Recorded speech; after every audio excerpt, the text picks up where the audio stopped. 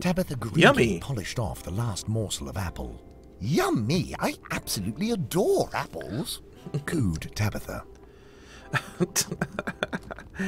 Oh, this is really a cool game so far. This is a really interesting idea. And that narration is just spot on, too. What do we have Tabitha here? peered into the stump. Ooh. It looks as if there's something inside. Give me Mused whatever it Tabitha. is. If only it wasn't pitch black in there. Oh, no. Well, there's a fire. Let's... Oh, hello. Give me stick. Tabitha picked up the branch. Eat the apple. Quick. I don't know why we need to eat the apple, but I feel like we should. And just like that, the Ha-ha! branch was aflame. Let's not burn the house down. But let's go check out the stump now. What's in here? Tabitha peered into the inky blackness of the stump, and by the flickering light of the torch saw the unmistakable glint of metal in the shape of a key. Oh. Reaching in, she was startled by a sudden whirlwind of snarling fur and expletives. Oh, Oi, why don't you f off and find your own shiny scraps? barked Colin. Wow. He was, it turns out, an especially grumpy badger. What's mine is mine, and you can keep your filthy f***ing hands to yourself. and with that, Colin extended a middle claw on his tiny badger paw and fixed Tabitha with a penetrating gaze. What a wretched badger! exclaimed Tabitha.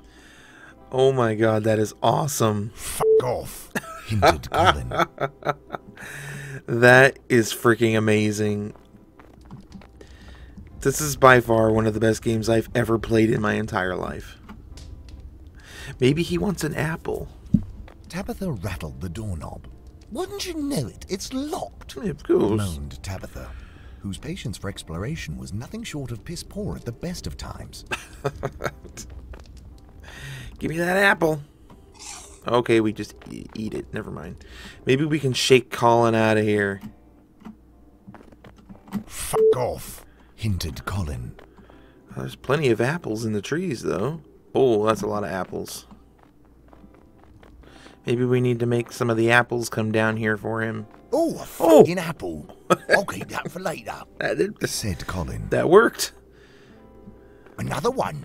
Fucking brilliant, said Colin. How many does he want? Another one. I need to make room for all these fucking apples, said Colin. I'll toss this shiny piece of sh. this is amazing. Oh, whinged Tabitha. How am I supposed to get that down? I don't know, maybe shake the snow globe? oh my god, this is awesome. Tabitha oh. unlocked the door and stepped into the cottage. Oh, Perhaps here she would find her means of escape. Wow, wee! This really is much comfier than my place, cried Tabitha. All the apples I can eat, a luxurious country cottage, and my very own potty-mouthed badger. what more could you want? I'm staying right here.